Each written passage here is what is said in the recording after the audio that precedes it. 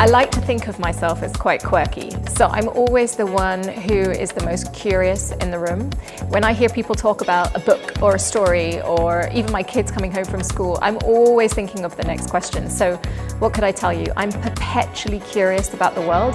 So I have a whole bunch of really eccentric interests and I just love understanding and knowing about the world. So yes, perpetually curious, that's me. I'm really excited about working on the show.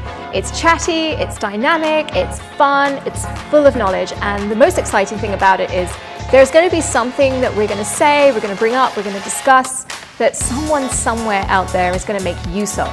And it could change their financial plan, it could make them some money, and I love the idea that we will positively help people. Hey, I'm Manisha. Catch me every weekday morning from 6 to 9 a.m. on the Breakfast Huddle right here on Money FM 89.3. Money FM 89.